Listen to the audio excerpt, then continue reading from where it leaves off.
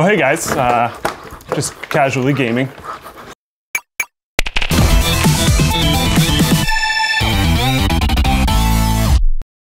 With the purchase of a qualifying Intel processor, SSD, or NUC, you could instantly win an Intel gaming jersey and be entered in the draw for the Ultimate System. Click now to learn more. The first and most important thing about this mouse is the optical sensor featuring Logitech's Delta Zero and Fusion Engine. I'll get into exactly what the Fusion Engine does in a moment, but first I want to test their Delta Zero feature, which basically means no cursor acceleration, as I have some pretty seriously deeply rooted trust issues when it comes to mouse manufacturers and their claims about acceleration. A quick and dirty explanation of mouse acceleration is this. If you disable it, moving your mouse from point A to B along a surface without acceleration should result in the cursor on your screen moving exactly relative to the movement of your mouse, independent of the speed of which the mouse is moving.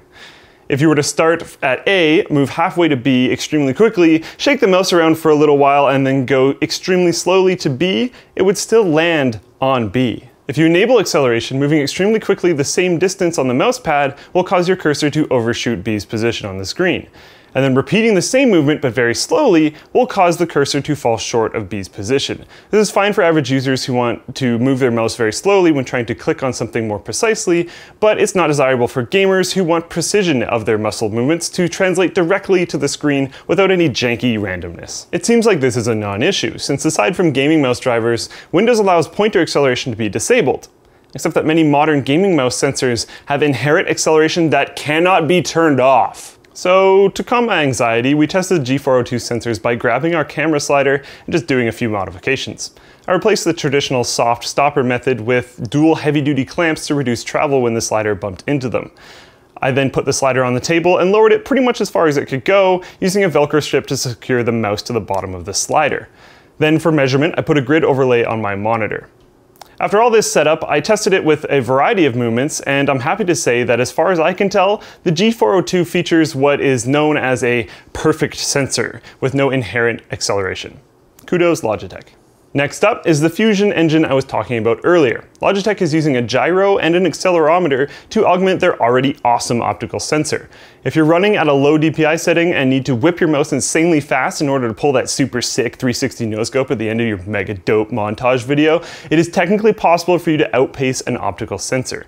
If you do manage to outpace the optical sensor, it can potentially cause the cursor to judder or even drastically jump around, which is bad.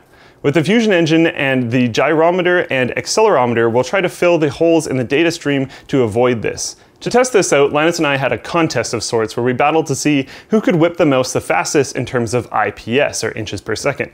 Linus won to his extensive master badminton skills, which he has honed over many years of extremely vigorous training. So it works as advertised. Kudos again. But even though it worked, I left Logitech's sensor monitoring tool on for a night of gaming and just tried to ignore it and play normally to see what would happen. It seems that I never actually exceeded 84 IPS, which means this feature is unlikely to ever actually kick in for me. But I'm not a professional gamer. If you're a low sensitivity gamer and you do end up purchasing the G402 and you find that you get into the speeds where the Fusion engine really benefits you, please message me on Twitter or some other medium as I'd love to hear more about your experience. Which brings us to the software. Setting the 240 to 4000 dpi sensor's multiple sensitivity levels was easy enough, and it allowed for fairly specific setting as it was able to increase in increments of 80. You can also set your polling rate to 125, 250, 500, or even 1000 reports per second. After getting all that technical stuff out of the way, you can have fun with the right side of your brain by playing with the customizable lighting. You're able to set brightness level, change the speed, or disable breathing mode entirely, and change the D if DPI lighting is always on or just illuminated when you're changing things. And last but not least is turning off the lighting effects when you haven't used your mouse for a specific amount of time. Handy for those of us who have our computers in our rooms. So that was fun, but now it's time for real world use of impressions in terms of shape, feel, and ergonomics of the unit.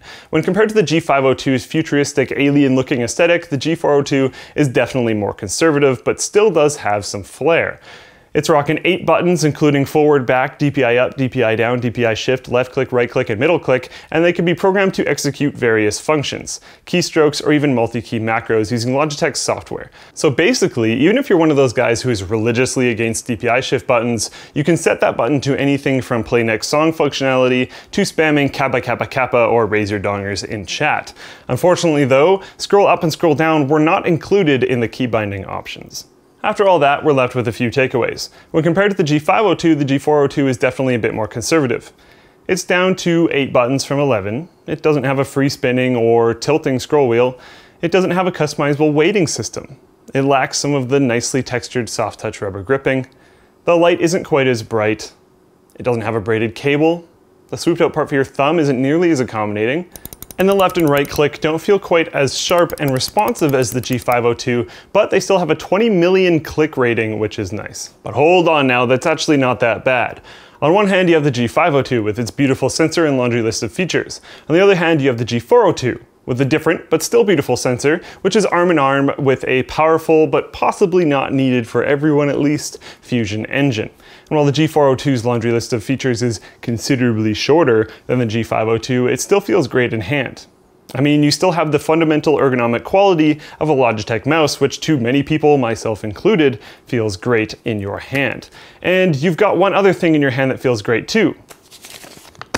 20 bucks. The G402 is $60 compared to the G502's $80 price tag. So that's a lot of mouse for your money, and the review is pretty much over.